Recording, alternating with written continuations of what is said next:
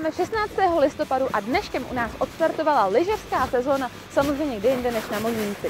Takhle časný začátek sezóny tady totiž umožňuje zasněžovací systém Snow Factory, který dokáže vyrábět sníh i v plusových teplotách. Takže už teď si tady můžete svést na horní kotvě, kterou lemuje 500 metrů dlouhá sjezdovka a rozhodně si nezapomeňte nabrousit hrany svých lyží, protože po ránu se tady jezdí na opravdu tvrdém povrchu. Zasněžený plácek pro děti i s pojízdným pásem najdete pod hotelem Monínec, stejně tak jako půjčovnu, lyžařskou školu a nově je také otevřená prodejna a půjčovna lyží Intersport u nástupu sedačkové lanovky. Na polední pauzu doporučujeme zajít do restaurace hotelu Monínec, kde si můžete dopřát nějakou tu kulinářskou specialitu.